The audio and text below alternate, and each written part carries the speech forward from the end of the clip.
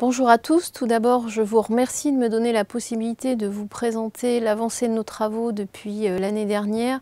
euh, pour laquelle j'ai eu le plaisir de venir vous rencontrer à Annecy. Donc, comme vous vous rappelez, euh, notre équipe de recherche travaille sur la compréhension des mécanismes à l'origine des cancers du sein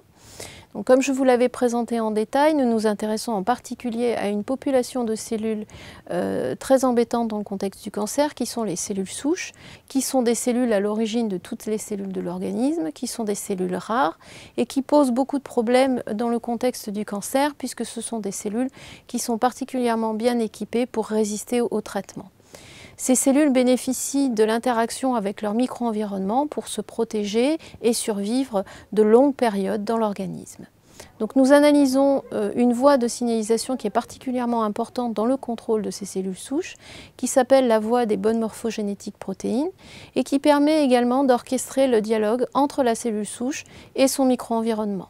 C'est une voie qui est conservée du développement à l'adulte, euh, qui est impliquée dans de nombreux cancers et euh, qui euh, est dérégulée en particulier dans le cancer du sein. Nous recherchons donc désormais à comprendre l'origine des dérégulations de cette voie pour essayer d'avoir des outils pour prévenir et identifier les cancers à des stades extrêmement précoces. Donc pour développer cette recherche, nous avons besoin d'outils particuliers puisque nous travaillons exclusivement sur des cellules adultes, mais nous n'avons pas la possibilité de travailler sur des humains, bien évidemment, et donc nous devons développer des modèles adéquats pour poser nos questions. Grâce à l'aide financière que vous nous avez apportée l'année dernière, nous avons mis en place deux approches qui sont de comprendre tout d'abord l'importance des expositions à des facteurs de risque comme les polluants du macro-environnement dans lequel nous sommes euh, confrontés tous les jours et d'autre part l'importance de signaux biomécaniques qui contrôlent euh, les tissus et dont l'importance pourrait également euh, être découverte dans l'origine de ces cancers du sein nous avons introduit dans des cellules souches humaines épithéliales mammaires une altération génétique qui se retrouve communément euh, exprimée dans des prédispositions au cancer du sein qui sont le gène BRCA 1 et BRCA2 qui se retrouvent fréquemment mutés. Donc nous avons reconstruit un modèle dans lequel l'expression de gène BRCA1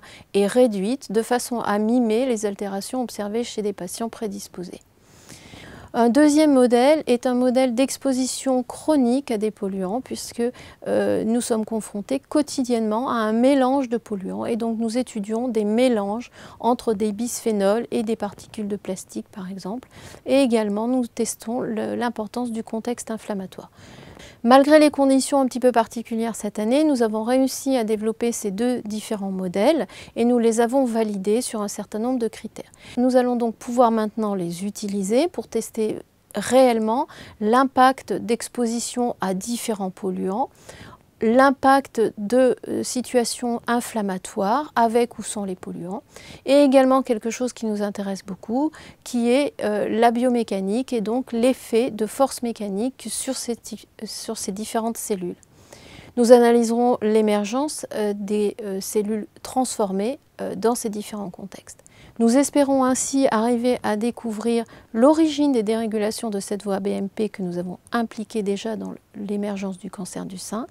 d'en tirer éventuellement des signatures moléculaires qui nous permettraient de tester chez des individus à risque la possibilité d'avoir un cancer du sein émergent et donc de pouvoir agir à la fois en termes de détection précoce mais également de prévention en essayant d'avoir un suivi beaucoup plus, euh, rapproché euh, des patients à risque. En cela, votre euh, soutien financier est extrêmement important et le fait que vous le renouvelez cette année est à nouveau pour nous quelque chose de fondamental et nous vous en remercions beaucoup puisqu'effectivement une bonne partie de notre énergie malheureusement passe à la recherche de fonds. Donc je vous remercie encore pour euh, votre implication et votre soutien et espère avoir le plaisir de vous revoir très prochainement euh, à Annecy au cours d'une réunion très conviviale.